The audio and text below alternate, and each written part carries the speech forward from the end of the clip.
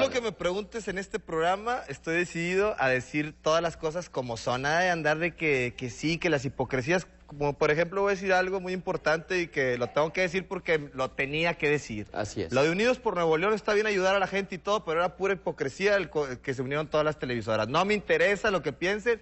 Yo lo digo, yo por eso no fui. Yo ayudé a la gente de otras formas, pero era pura hipocresía de que se juntaban las conductoras y que, ay, te quiero mucho, me quieres mucho, por hipocresía se da la espalda y vámonos, ahí va el machetazo por la espalda, el puñalazo, ¿no?